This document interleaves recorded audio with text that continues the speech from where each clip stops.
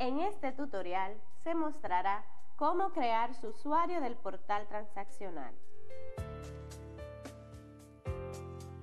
Para acceder al portal transaccional, diríjase a la dirección www.comprasdominicana.gov.do. Si desea mayor información, ver el tutorial Cómo acceder al portal transaccional. Para crear su usuario, deberá ingresar al portal transaccional y pulsar la opción Registro. En esta pantalla visualizará los pasos a seguir para crear su usuario. En el paso 1, Registrar usuario, aparecerá un formulario en el que deberá completar los campos requeridos y pulsar Continuar. En el paso 2, Confirmar registro, activará su cuenta siguiendo las indicaciones detalladas en el mensaje enviado al correo electrónico registrado en el paso 1. Desde allí deberá pulsar el enlace que lo conducirá al paso 3 del formulario, crear o solicitar acceso a una entidad. En esta pantalla colocará los datos de usuario y contraseña registrados en el paso 1 y luego pulsará el botón Entrar. La plataforma le mostrará el formulario de primera sesión de usuario, donde confirmará sus datos y cambiará su contraseña. Igualmente, deberá marcar la casilla al pie del formulario, aceptando los términos y condiciones de uso de la plataforma. Una vez actualizados los datos, deberá pulsar el botón Guardar y Continuar. Inmediatamente, la plataforma le presentará las opciones de solicitar acceso a un proveedor ya registrado y registrarse como nuevo proveedor. Y listo, ya ha creado su usuario del portal transaccional. Puede obtener mayor información accediendo a la sección de ayuda a través de la siguiente imagen. También podrá contactar a Asistencia Técnica de Contrataciones Públicas llamando al número 809-682-7407 o enviando un correo electrónico a la dirección asistenciatecnica.dgcp.gov.do.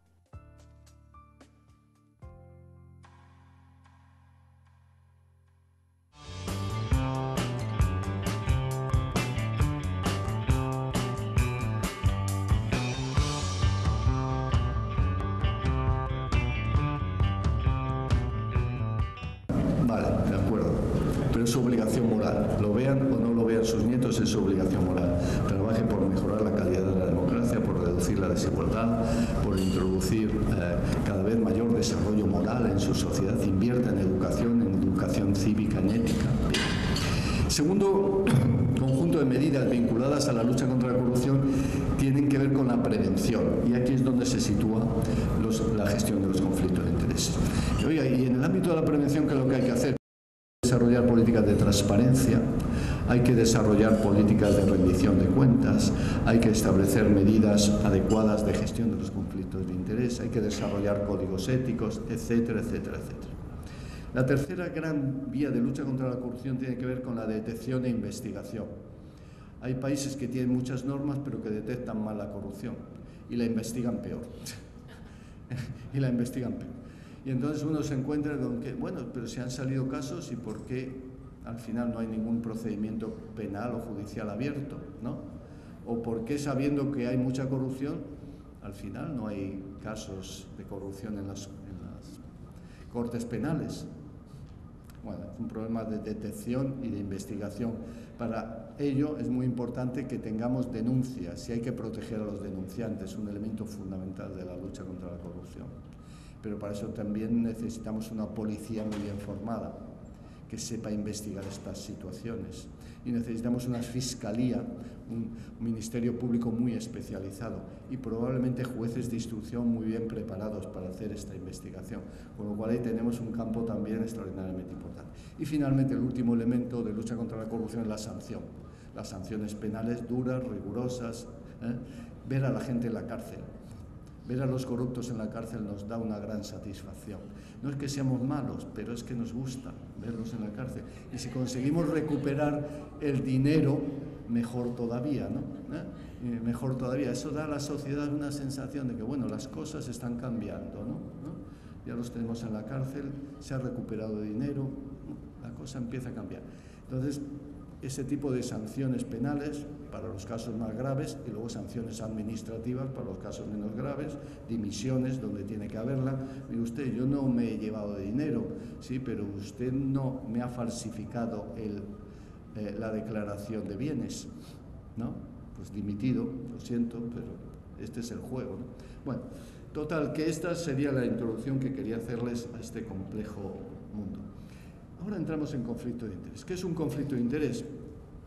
En el ámbito público, pero esto también es muy importante en el ámbito privado, como luego verán en la segunda parte, verán que la gestión de conflictos de intereses no es solo algo del sector público. Las mejores empresas hoy en día tienen políticas de conflicto de intereses muy rigurosas, muy rigurosas. Yo el otro día hablaba con la presidenta de Siemens España. Me decía lo siguiente, Siemens, como ustedes saben, tuvo un momento muy difícil, ¿eh? con unos casos de corrupción muy importantes, hubo incluso algún suicidio de directivos de Siemens.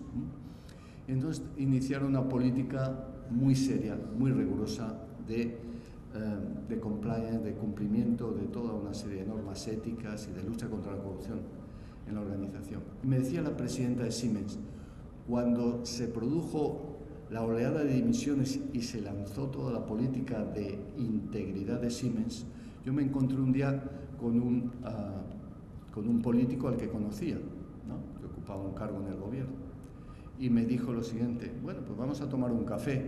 Y le, dijo, y le dije yo, vale, un café, pero nada más, porque como mucho yo puedo gastarme en interacción con un político 10 euros. A partir de ahí tengo que declararlo y tengo que demostrar que no hay conflicto de interés. Es decir, que en el sector privado se regula muy seriamente. ¿no? Ahora mismo hemos tenido otro ejemplo, con el Congreso del CLAD en España. ¿no? CLAD saben que es esta organización que se dedica al análisis de la administración pública en América Latina, es un organismo internacional. Y después de muchos años volvimos a tenerlo en España. Fue la primera vez en la historia que no tuvimos una gran fiesta de clausura del Congreso. Resulta que el país que tiene la renta per cápita de todo el CLAD más alta es el único que no hizo la fiesta. Yo le preguntaba al ministro, ¿pero qué ha pasado? ¿Por qué no hemos tenido fiesta? Y me dijo, primero porque no teníamos en el presupuesto dinero para fiestas. Yo no iba a meter dinero para fiestas en el presupuesto y segundo porque no había ninguna empresa privada que pudiera aportar dinero porque le generaba un conflicto de interés. Las empresas no pueden dar dinero a la administración porque eso implica que le dan el dinero para obtener contratos y eso está prohibido. Entonces, fíjense cómo está cambiando la situación en el mundo privado. Pues en el mundo público igual, ¿no? Es un conflicto entre obligaciones públicas e interés privado que puede indebidamente influir o dar la imagen de que influye en el cumplimiento de las obligaciones y responsabilidades. Y este es un elemento muy importante. El conflicto puede ser aparente. ¿eh? Puede darse, pero no se da el conflicto. Pero en el momento que hay un conflicto aparente, ya tenemos que actuar. Y esto está viéndose en casi todas las legislaciones. Si usted da la apariencia de que hay conflicto, aunque no lo haya, tenemos que intervenir.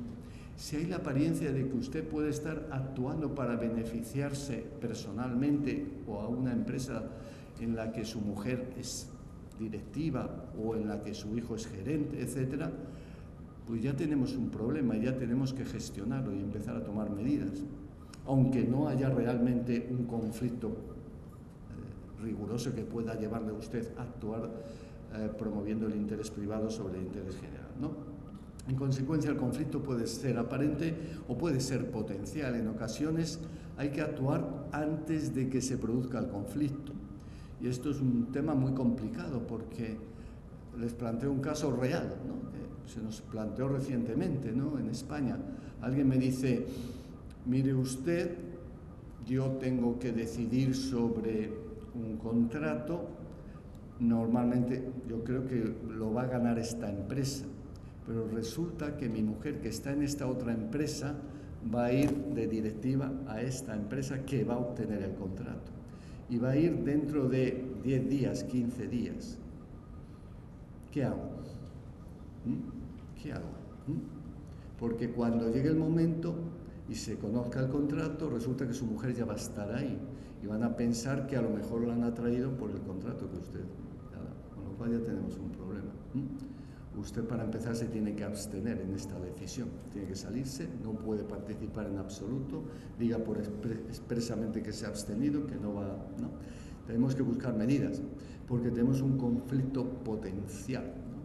Bueno, pues el tema de los conflictos, como ven, es más complicado que simple y llanamente una situación en la que el, el, caso más típico, dice, me han nombrado director general de farmacia al gobierno dominicano y tengo 10 farmacias en Santo Domingo tengo un conflicto de intereses, claro, ¿no? Eso es un caso muy típico, pero los casos son más sofisticados muchas veces y más complejos, ¿no?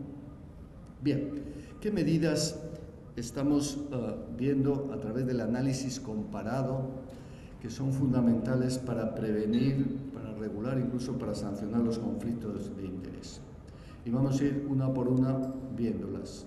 La primera es la restricción de empleos públicos, de empleos públicos o privados adicionales al principal empleo público. ¿Y qué es lo que ocurre? Que hay que saber gestionar adecuadamente todo el sistema de incompatibilidades. Si usted tiene un cargo público de alto nivel, usted es incompatible con todo otro cargo público, salvo casos excepcionales en las que se tiene usted que hacer cargo, aparte de su eh, cargo público de otro, sin cobrar, que puede ocurrir, ¿no? ¿Eh? Pero en principio, usted una vez que tiene un cargo público de alto nivel es incompatible con cualquier otro cargo público, pero también a lo mejor con cualquier otro público, con cualquier otro cargo en el sector privado, con cualquiera. Eso le incompatibiliza a usted para todo. Eso, como verán, se da en casi todos los países que hemos, que hemos analizado. ¿no? Es decir, altos cargos, jueces, tienen que dedicarse exclusivamente a su cargo eh, y no tienen posibilidad de compatibilizar con empleo público o con empleo privado.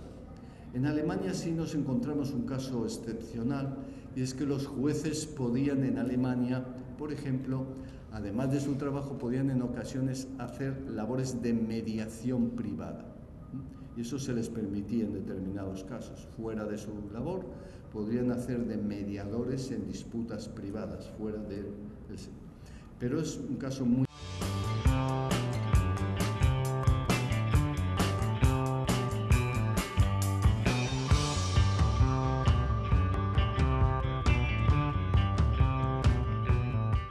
En este tutorial se mostrarán los pasos a seguir para inscribirse en línea como proveedor del Estado. Para acceder al portal transaccional, diríjase a la dirección www.comprasdominicana.gov.do. Si desea mayor información, ver el tutorial Cómo acceder al portal transaccional.